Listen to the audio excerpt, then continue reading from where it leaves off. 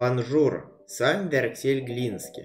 И сегодня мы рассмотрим апгрейды в Hearts of Iron 4. Под апгрейдом я подразумеваю улучшение любой боевой единицы. И мы рассмотрим апгрейды в пехотных армиях, флоте и авиации. Начнем с авиации. Заходим в панель производства, находим самолет и нажимаем на такую кнопочку «Создать вариант». Здесь, получая воздушный опыт, то есть опыт авиации, можно улучшать надежность, дальность, вооружение и двигатель. Получить вы этот опыт сможете за счет э, боевых действий. Ну и, конечно же, с помощью национальных фокусов, а точнее ветки авиации.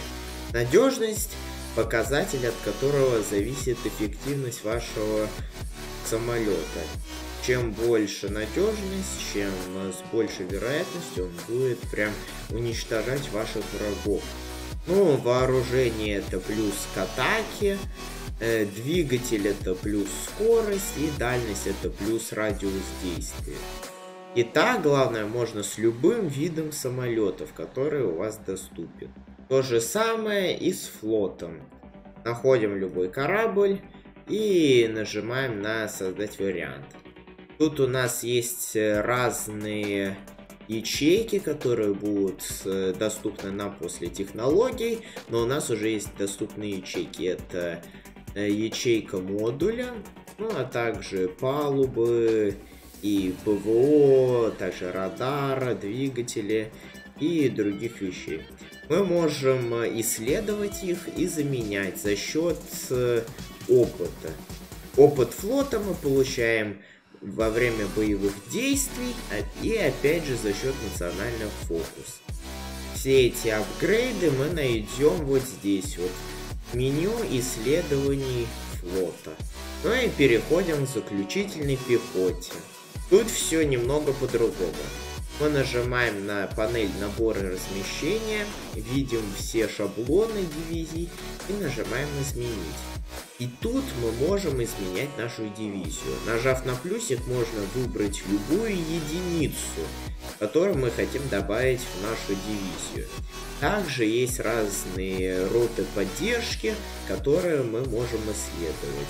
Тут есть отдельное меню рота обеспечения, где улучшаются, ну и вообще исследуются все эти вспомогательные батальоны. Но нам нужен опыт. Опыт мы добываем опять же во время военных действий, и благодаря национальным фокусам и благодаря тренировкам. Чтобы начать тренировку, создайте одну армию и нажмите на самую левую кнопку здесь.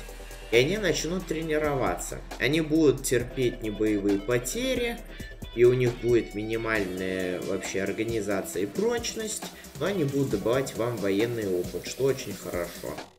Но когда у вас планируются боевые действия и вообще во время войны, делать такого не стоит. Если у вас, допустим, не хватает людей на новую дивизию, улучшите старые дивизии. И, конечно, в разных ситуациях, опять же, нужны разные решения.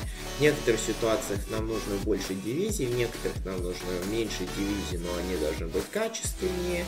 Мы можем увидеть это на примере многих войн. Если вы играли в Heroes of 4, вы, наверное, задавались вопросом, но у меня же больше дивизий, почему они выигрывают? А все потому, что их шаблон уникален, и он уничтожает ваш. Надеюсь, этот гайд был очень полезным. И в следующий раз я сделаю гайд про флот. Я уже подготовился и пишу сценарий. Спасибо за просмотр, ставьте лайки, подписывайтесь на канал. Пока!